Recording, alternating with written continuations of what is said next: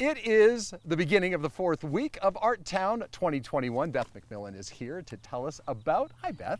Hi. You're the executive director of Artown. Isn't it nice that we can actually like? I know touch? Oh my God, month, so the good to see month you. has been so like a connection, right? I know Just- you.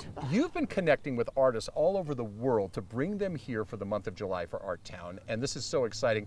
More performance now. We've had a lot. Uh, we've had orchestra. We've had ballet. We've had someone that sounds like Sinatra.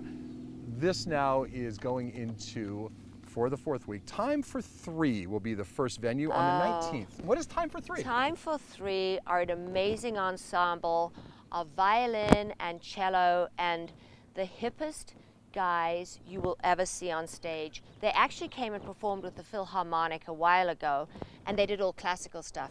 Well, tonight it's not going to be classical. They may do some classical, but it's going to be way hip and way fun and very good. What defines hip to Beth McMillan? Oh my gosh. I love when I stump someone that's been doing this her whole career. Speaking of your career, you know how to find good artists because you came to Reno way back in the day. We're on stage at what is now the GSR for Hello Hollywood Hello, Correct. and you were a dancer, so you know you can see a real quality act or not. I hope so. I've been doing it for a while now. Yeah. Yeah. All right. The second act, Broadway in concert. Yeah, talking about Broadway. So um, this is for our family night, Okay. and it's going to be adults and children singing Broadway songs for families to enjoy. And it's no charge, so come on down. It'll be a great night of just hearing Broadway music. A little homage to the Great White Way, and then Keb Mo, Yes, Keb Mo. legendary. Legendary.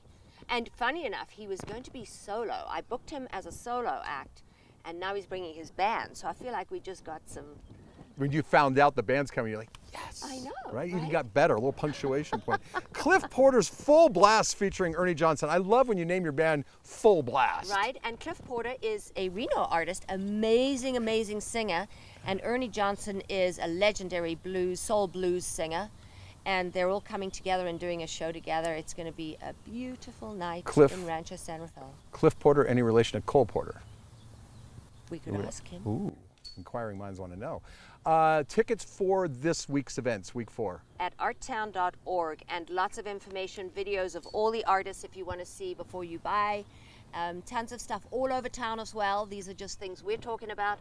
There we go. There's about, there've been about throughout the month about 400 events. Are you hearing people just saying, thank goodness we're all back together? Yeah. We're actually able to talk to our neighbors again and be commingled in this great event, this great venue. It's just it's just wonderful, Yeah. and you know the arts do bring people together. So what better way to do it after COVID than with Artown? Shake my hand again. Thank you. It's so good. Thank you. Step back to you.